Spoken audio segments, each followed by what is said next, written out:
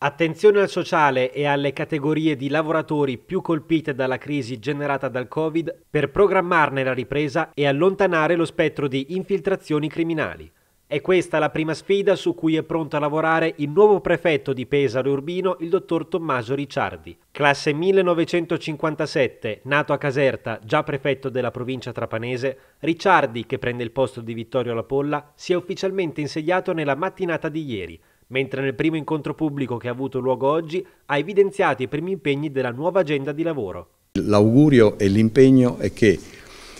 i ristoratori come i bar, come le palestre, come i teatri, i cinema, insomma, tutti quelli, tutti quelli che hanno avuto il danno più grande da questa pandemia possano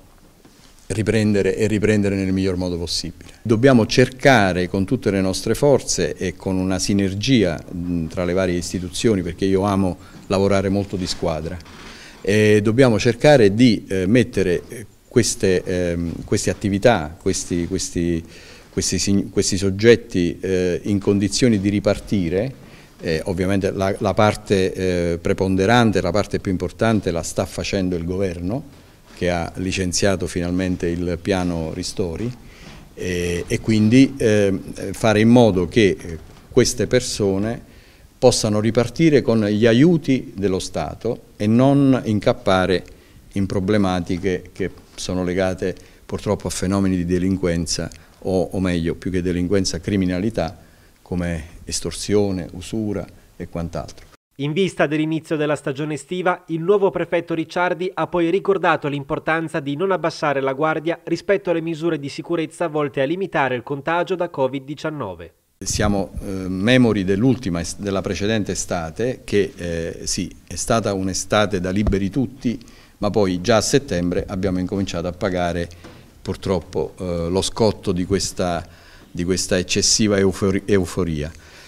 Vero è che rispetto all'estate scorsa eh, andiamo, siamo già eh, messi meglio e quindi l'estate ce la dobbiamo godere ma con, con responsabilità, eh, d'intesa con le forze dell'ordine, con le forze di polizia, ma anche con il sindaco, abbiamo deciso di eh, fare in modo che la guardia resti alta. Confermato anche l'impegno di portare avanti il progetto di valorizzazione culturale destinato a Palazzo Ducale, sede della Prefettura, che grazie alla firma di un protocollo avvenuta nelle scorse settimane è stato inserito all'interno del circuito museale della città pesarese. Colgo ancora una volta l'occasione per ringraziare il collega Vittorio Lapolla e, e questa iniziativa che lui ha inaugurato eh, sicuramente io la perseguirò. E, anche migliorandola, eh, allargando magari la platea dei beneficiari di questo, di questo bellissimo palazzo, eh, perché credo che eh, a partire dai pesaresi tutti dobbiamo essere consapevoli delle ricchezze, questo, ricchezze culturali, artistiche di questa, di questa provincia, di questo territorio. E il primo impatto è stato meraviglioso.